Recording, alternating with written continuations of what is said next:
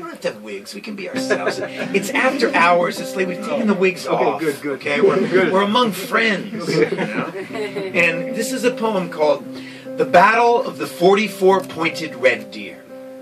The little child said, Please, mother, please tell of the great red stag who said, All shall be well. The red deer king, a hart of 44, who put an end to Edward's terrible war. The story is old, as ancient as time, a fable from the earth told in rhyme. Like phases of the moon or the sun's rise, the pull of the ocean, it's constant and wise. One spring morning, when Stonehenge was new, a doe and her fawn tripped wet through the dew. Undaunted and curious mother, said the fawn, of whom is that statue in the center of the? My sweet one, said she, that magnificent stone, erected by Edward the Elder to stand alone, tis the likeness, my son, of our own stag king, who the day you were born did a marvelous thing. The day I was born. Oh, tell me the story. How is my birthday the day of his glory? That's why I brought you inside here, my son, to tell you the tale of all that was done. A tale of two mighty kings, a tale of, wo- of woeful and wondrous things. On that day I carried my child inside, the day when my child and I nearly died. On this very spot the story takes place. This is the grass where I first saw his face. The warrior king who struck all with dread, hunting us down, wanting us dead. What was the reason? Why did he kill? Why did he hunt us? Why? For the thrill. He loved the game. He loved the chase. The smell of our fear made his cruel heart race. He'd feast on our bodies, our muscles, our meat, our tongues, and our eyes. He thought deliciously sweet. The young deer stuttered and stammered. Oh, no, 'tis true, said his mother. This Edward did so. So listen, so listen to this marvelous story of my dear child's birth and our stag king's glory. 'Twas the hunt Edward loved, the hunt that was all. His scabbard was gold, the sword eager to fall. His bow and his blade never left his arm. Prayer bored him. Worse was the farm. His once healthy country had now become an idle. His sleek white stallion was ever in bridle. Shopkeepers and tailors were forced from their fronts. The carpenters and farmers were made to join hunts.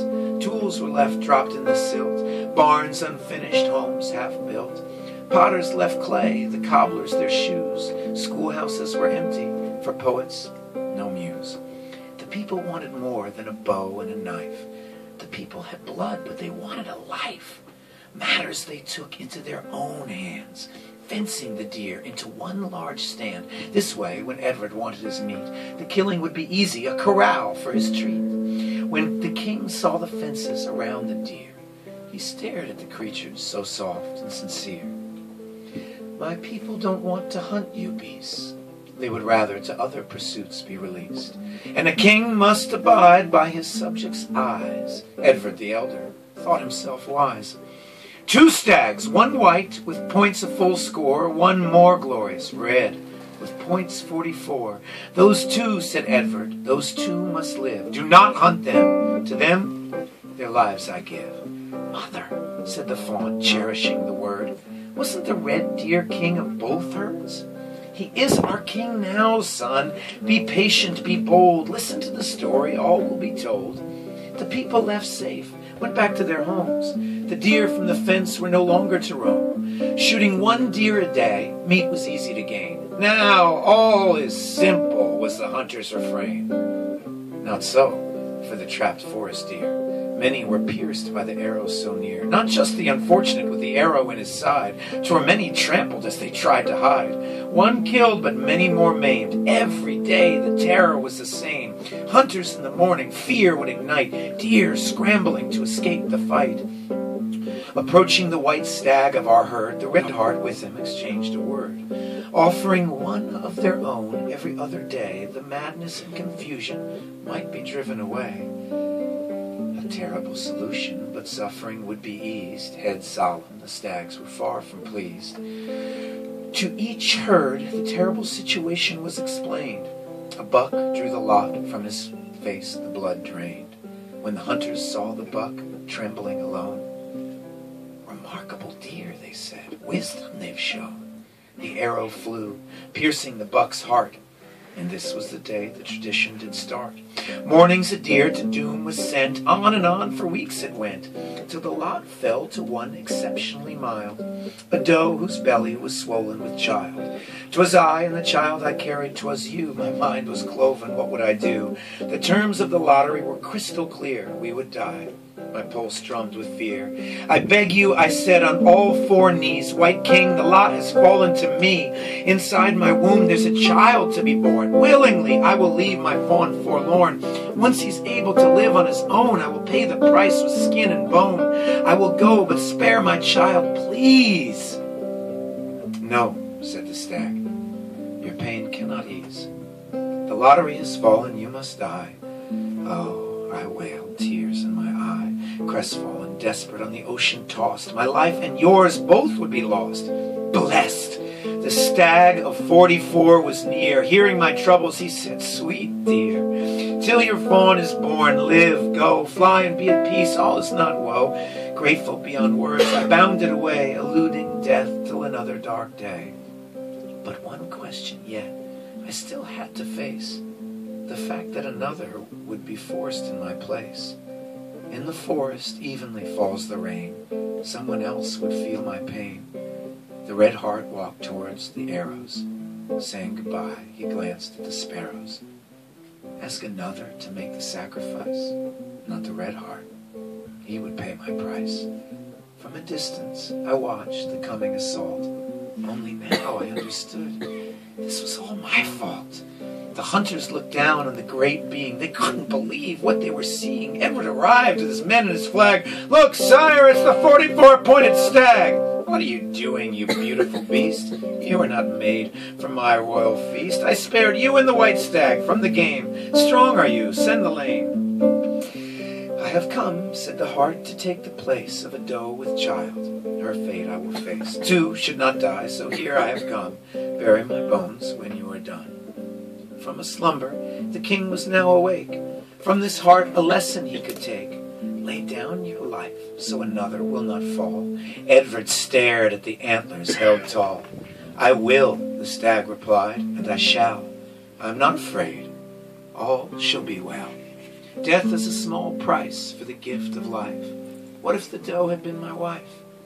Tugging at his whiskers, staring at the deer, Edward said, I am glad you are here. Care for the least is what a king must do. So in a payment for a teaching so true, you and your herd may go free. Teach the others as you've taught me. Take your kin, live in peace. All are spared, your family released. The strong stag shook his heavy head. O King of men, this wood is my bed. If I leave with my herd, if we turn and go, the remaining will suffer. This we both know. Day and night your arrows shall fall. For years in anguish my friends will call. What would be gained at such a cost? The doe and fawn I saved would be lost. But these other deer are none of your own. The hart resolutely stood on a stone. Again Edward tugged and pulled at his beard. Stag, you inspire.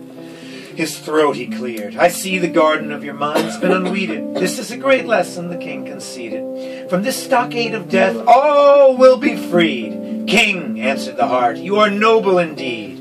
Edward responded, Go, live in peace. But the stag again refused to be released. A stillness settled. A rabbit stopped and stared. Great hart dared. The forest was watching, twisted and fret. Too long have I lived with danger to let.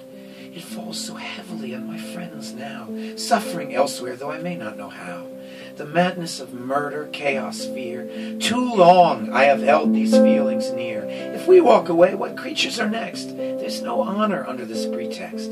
Living without limit or mercy, mercy, now all will be killed. With blood and bones, the soil will be tilled.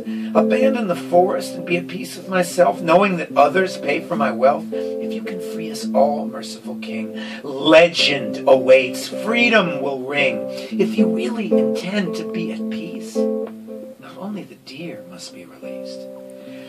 Edward could not believe what he was hearing. The eyes of his men behind him were leering. Again he sighed, sighed. His head began to fall. You will make crop farmers of us all. You are a teacher and I am your student. All will be free. It is most prudent. There, I am finished. It will be done. The game is played and you have won. My men and I must practice what we preach. We understand the cost of the wisdom you teach. The woods will be wild, free and singing. You have struck the bell and it is ringing.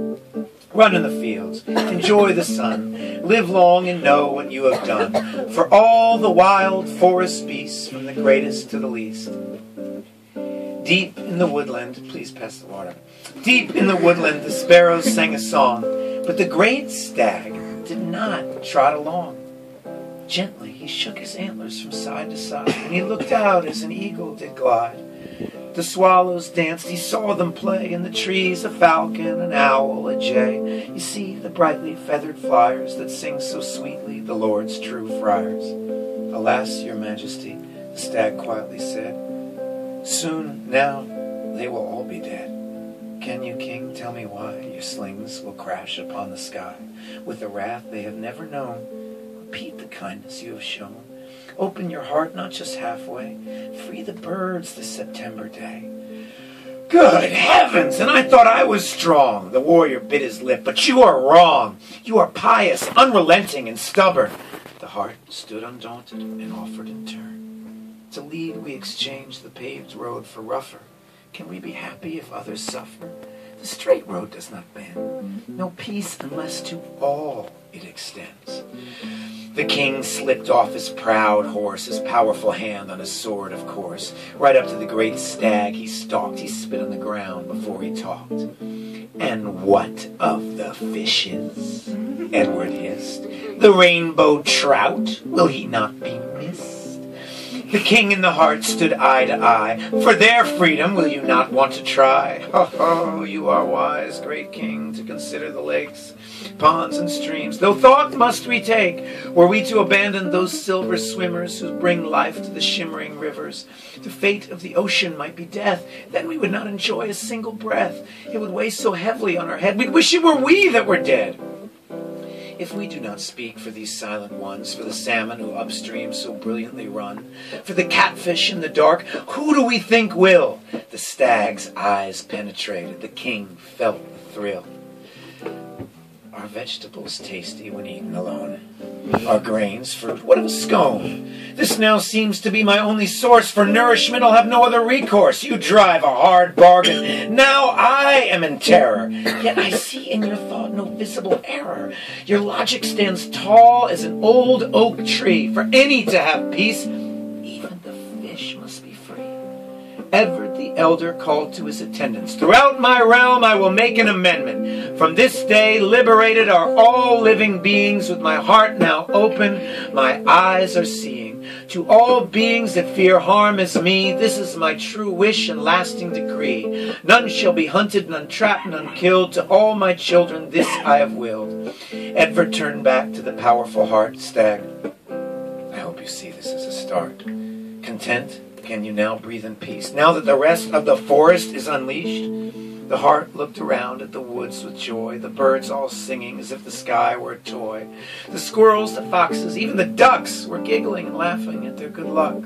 A tear fell from the strong hart's eye. Yes, he said, with a Herculean sigh. A single tear that reflected the earth. Everyone was shown what they are worth. Forty-four pair of sparrows landed on his great rack, singing this melody with no fear of attack. Then, leaping away like a young fawn, he bounded across this very lawn. Open the gates! Edward's voice did resound. The fences were playfully knocked to the ground. Deer scattered, running light as a feather. Edward's heart was as warm as the weather. And Edward the elder built as he should. This circle of stones with a roof so all could rejoice, remember, sing, and hear the ballad of the forty-four pointed red deer. It's true, whispered the fawn. You and I were here. He spoke so soft she could barely hear. The lad's legs bouncing, unable to behave. We were the ones the great king saved. Yes, you were born that afternoon, here on the grass, not a moment too soon. Imagine, said the deer's mother, so many being kind to one another. The little fawn said, Please, mother, please tell of the great red stag who said, All shall be well. The red deer king, a hart of 44, who put an end to Edward's terrible war you, beautifully, even without a wig, you did great.